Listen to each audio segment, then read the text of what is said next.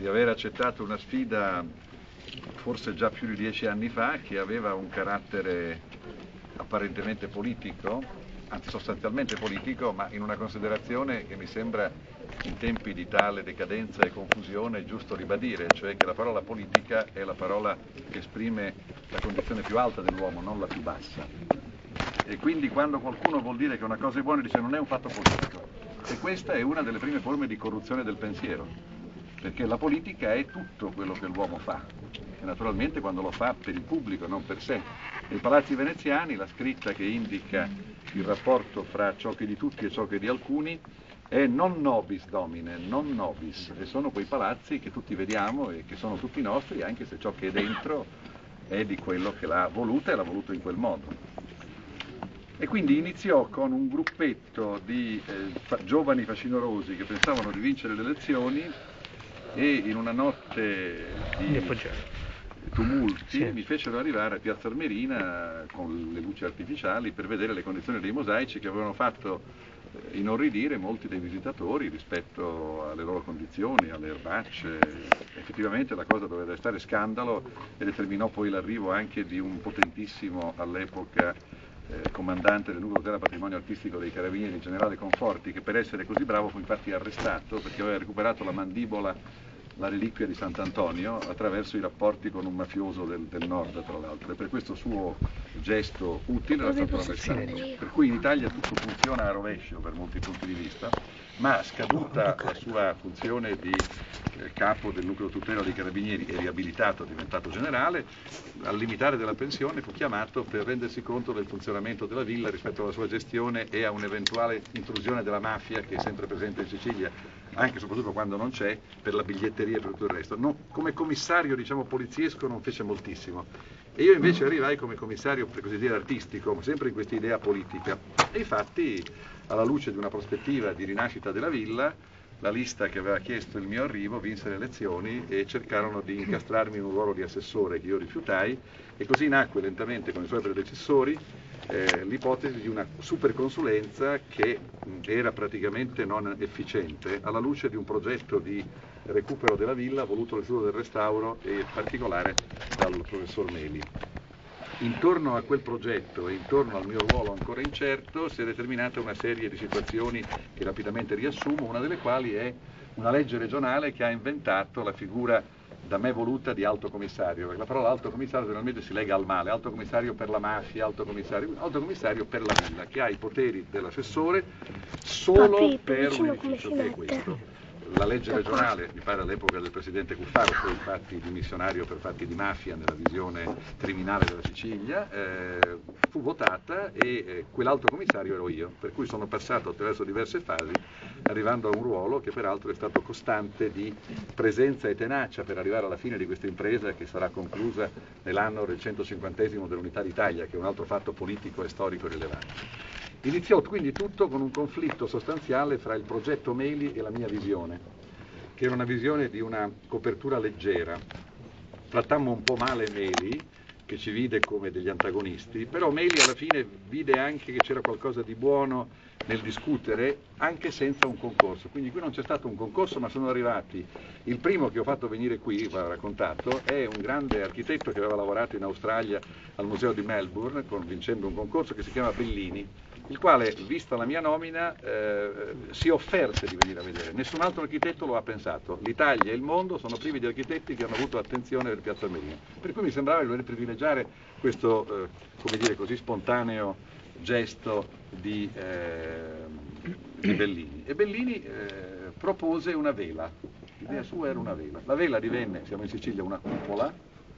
e la cupola piacque moltissimo a un sorridente che si chiamava Asciutto, il quale per realizzare la cupola eh, fece carte false e carte vere e mi introdusse alla personalità di eh, un RUP, responsabile unico del procedimento, nella figura di Rosa Oliva che è con noi, la quale nella presunzione del eh, sovrintendente sarebbe dovuta essere eh, una sua collaboratrice, invece era intimamente, ma non sul piano ideologico, sua nemica perché non voleva la cupola. Per cui un giorno, e neanche io la volevo, ma mi dicevano, ricattandomi, se non la facciamo subito perdiamo i soldi europei. C'erano 25 milioni del finanziamento europeo che rischiavano di evaporare in un POR che aveva una sua scadenza. Oggi la scadenza è stata eh, spostata in avanti, fortunatamente, ma insomma in quell'urgenza sembrava o la cupola o niente. Nel paese di Mazzarino la dottoressa Oliva mi chiarì, dice guarda io faccio volentieri il RUP ma a me la cupola non piace, dico non lo dica a me, ma mi dicono che se non la facciamo perdiamo i danari. Non è vero, da quel momento è cominciata questa storia che ha visto poi cadere lungo il percorso l'architetto Canali che era venuto per fare un progetto non, non simile a questo ma insomma con qualche sua intelligenza, eh, la cupola fortunatamente poi piena di vetri che sarebbero stati alta 60 metri, eh, sarebbe stato impossibile pulirla, è caduta da sola, il sovrintendente è stato allontanato anche grazie a, una mia sollecitazione, quindi mi odia, adesso è finito credo a Caltagirone, ma eh, comunque tutto questo ha fatto sì che noi eh, partiti da una contrapposizione con Meli siamo tornati a Meli, dicendo allora il progetto lo fa l'Istituto del Restauro eh, regionale, con qualche accorgimento e quindi alcune idee guida che sono nei cataloghi che forse avrete visto, che io avevo in mente non essendo architetto, ho pensato di affidarle a un allievo eh, di quel quello mio amico, mi sono dimenticato il doppio cognome, Dezi Bardeschi. Dezi Bardeschi. Qua Dezi Bardeschi è un fantasista convinto di essere e, e odia il suo allievo e però il suo allievo è più sobrio di lui e si chiama Jonathan Rizzi e quindi eh, con la maledizione anche di Rezzi Baldeschi e di tutti gli allievi del Minnissi che è l'autore di questi catafalchi immondi che però cominciano ad avere 50 anni e quindi volevano loro vincolarli per impedire che noi li togliessimo con eh, la maledizione di tutti eh, abbiamo eh, chiesto a Jonathan Rizzi di darci alcune indicazioni che corrispondessero a quello che avevo in mente sui materiali. Lui aveva lavorato al Museo Ghetti, fatto, e ha lavorato e mi pare che questa presenza di persona sensibile sia stata perfettamente assorbita e, e, e, sia stata compatibile con il mail, il quale non l'ha visto come una prepotenza ma hanno cominciato a dialogare, quindi sono stati eliminati i vetri, i vetri fitosensibili su quello che era nel progetto mail.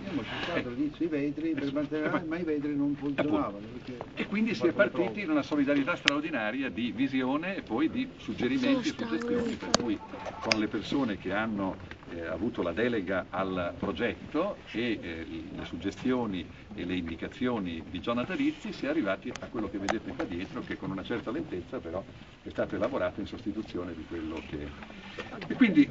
questo diciamo, è il panorama di una vicenda che è durata dieci anni e in cui forse se io avessi avuto un ruolo politico in senso specifico già sarei via come gli assessori che hanno preceduto Armao, sono stati 4 o 5 e come capita poi con gli avvicinamenti politici, invece il ruolo tecnico mi ha consentito di fare il padrino di questa impresa per circa 10 anni e arrivare a portarla a compimento nell'imminenza del 150 dell'Unità d'Italia. Ciò che a me preme soprattutto è smettere di vedere questa immonda ferraglia di plastica, vetro e metallo, avendo però dell'idea del Minissi mantenuto il principio della ricostruzione dei volumi, sia pure con diversi materiali, e quello fondamentale per la visione, che è un'idea per cui non abbiamo tradito il Minissi, che sono le passerelle, che avrete eh. osservato che l'alzato di questi spazi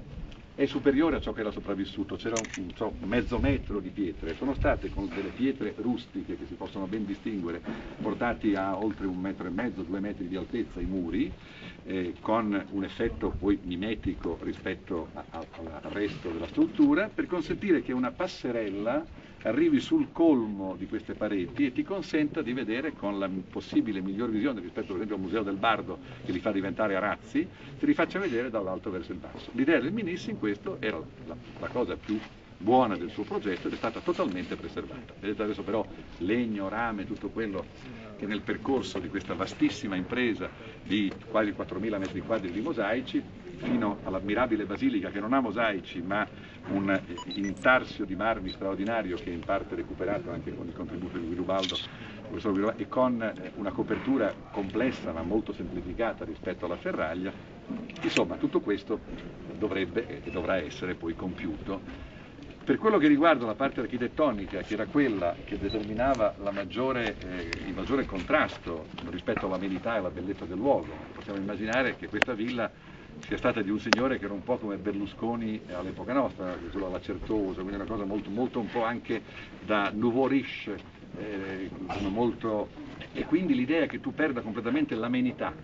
cioè vado in un posto di cui vedi i mosaici ma è sgradevolissima la ferraglia e poi non ci sono i giardini, per questo abbiamo chiamato il dottor Reverdini,